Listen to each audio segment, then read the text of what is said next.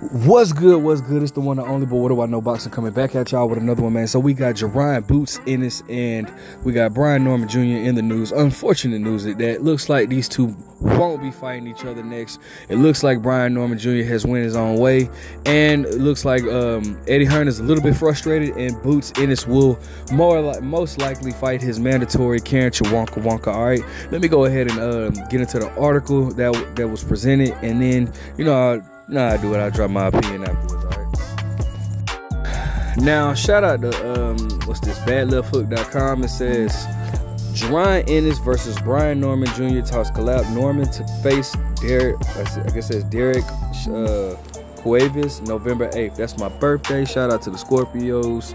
You know how we are. We guys give to Earth. You know what I'm saying? But anyways, um, it's funny though. That's actually my birthday though. But anyways, um, it would come as no surprise after Eddie Hearn's earlier comments. Top ranks Carl Moretti tells Dan Rafael that talks with of a unification bout with IBF welterweight champion Jaron Boots Ennis and WBO titleist Brian Norman Jr. are dead over money. Instead, Norman will meet number seven contender Brian, Derek Qua, uh, what's that, Cuevas on ESPN on November 8th under the Keyshawn Davis versus Gusto, Gustavo Lemos show. Cuevas, who has the record of 27 and 1 with 19 knockouts, has completed competed all over the North and Latin America scene throughout the, his decade-long career. Though he is not yet though he is yet to not touch a noteworthy win in his process, he did contrive to lose in the sixth round to Damian bon- Bonelli in 2020 on the heel of a year-long layoff, which making him his current sole, vic- sole victory of Bonelli's list last 14, 14 bouts. Excuse me. Norman, who is 26 and 0 with 20 knockouts, has immediately come out flat in the past. But after watching him work over the dangerous Giovanni Santillan in May, it is hard to sell Cuevas as a credible threat. So, you know, nobody's really looking forward to this now. Um, you know, let's hear what Eddie, Eddie Hearn has to go ahead and say. Um, Eddie Hearn explains, shout out to BoxingScene.com, it says Eddie Hearn explains the frustration with IBF Borderline Circus Act Team Norman. There's been pl- plenty of criticism fired in the direction of the IBF this year, mostly for stripping unified champions Alexander Usyk and Saul Canelo Alvarez for the failure to face mandatory challenges of the limited commercial value. Hey man, listen, at least at least the IBF is consistent. But anyways, Alvarez, instead of facing number one William Scull, it has a more lucrative outing against Edgar Berlanga September 14th in Vegas. Usyk, while Usyk rematches Tyson Fury, is understandably taking credits over the return of over a return with Daniel Dubois, whom Usyk had only recently defeated. And so Dubois was handed the IBF title, and now he defends it at Wembley against Anthony Joshua on September 21st. I'm actually interested in that fight. If you guys haven't seen, go watch the face off. It's pretty, you know, pretty. I didn't realize that they had bad blood. However, promoter Eddie Hearn has is at a loss with the sanctioning body when it comes to their welterweight champion, Jaron Boots. In his ass, they want him to now fight the mandatory challenger uh, Karen Chawanka the same fighter Ennis beat 12 rounds to zero some 18 months ago. In a short, it's it's a return that is meaningless. Anyone outside the Ukrainian had and his team, you know what it is. If you've got a mandatory challenger, you love the IBF rules. Uh, Hearn explained, and if you've got a champ, if you got a champion, you can't effing stand them.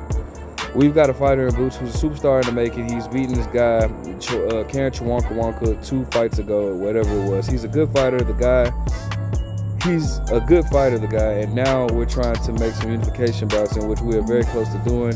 And actually, now we've got to fight this guy again. This week, negotiations between Ennis and WBO title holder Brian Norman played out pu- publicly before fizzling out. The WBA title is titler is now Stanionis who has been upgraded to full champion following the departure of Terence Crawford from the weight class, which is how Norman and Ennis collected their belts. But you know, a lot of times I respect the IBF and the way they actually con- uh, actually don't care or acknowledge the commercial common sense in boxing at Hearn at it. I could phone the IBF president Daryl Peoples and and just be like, Daryl, can we just have two minutes on this. Let's just put into perspective. You are putting uh, mandatory on us on a guy that we just beat two fights ago that no one wants to see. Sorry, he's a mandatory. Why? Anyways, unfor- anyway, unfortunately, Brian Norman's team, who are borderline circus act, are now becoming. I'm sorry, now coming back, going. Now coming back, going. Oh, actually, we'll take the other offer. So he's mocking them. He's saying uh, they're saying that they'll take another offer, and it's like, mate, the IBF had called the purse bid under the IBF rules. You can't get any explanation. They've already called the purse bid. So now we're going back to the IBF saying, Are you sure about this? Is there any way around it? Because I think Brian Norman actually realized to himself, Blimley, I've, I've dropped the ball and I've lost a fortune here. It's frustrating, and I, and I think the most frustrating thing about the IBF, and I love Daryl Peoples, Daryl Peoples, I think he's a great guy. They just they won't just have a sensible common sense conversation. And you know when not when they had those issues many years ago, they were petrified of going against their own rules, in which I guess some might say is refreshing. Hearn is referring to the case that IBF founder Robert Lee imprisoned in prison for two years have been ta- make, have been accused of making bribery parts of the body um, operations. The IBF this year has been questioned for heavily stripping unified. Yeah, we already read that. If you look at okay, we already looked at it. So basically, he's not he's not happy. I mean, at the end of the day, the fight's not. It looks like it's it's not gonna really happen, you know. But let me go ahead and give you my opinion on this. Now, shout out to Mill City Boxing, man. Him and Zab Judah, they I really like what they're doing and whatnot. So I was looking at their um, interview with um, with uh, Brian Norman Sr. And Brian Norman Sr. basically broke down why they didn't take the 1.7 million. Now it has been confirmed that 1.7 million was the offer, and you know many people, you know, like myself, I'm not gonna lie, felt like Brian Norman should have taken that offer. I mean, even Zab Judah was saying like, bro, that's that's a good offer, and you you have a chance to beat him, and if you beat him, then you fight for double that offer in the rematch or whatnot, right? I mean, and I do feel like I, I mean I still feel that way, right? And I, but I, I, do understand where Brian Norman was coming from, saying that like, okay, basically you got to think once that 1.7 million comes out, after the taxes and all that type of stuff, you, he walks away with 800 and something thousand dollars. And while that might be true, and I and understandably, like you know, he wants his son to be living comfortable. You you got to think that's the highest that you've been offered. That's the highest that you would be making I feel like you should have taken that offer, bro. You know what I'm saying? Like I, I, I understand that the money is important, but you have a chance to become you a unified champion if should you beat Jaron Boots Ennis, who many who many is seeing or who many feels like would be is the, the like the, the next big thing in boxing.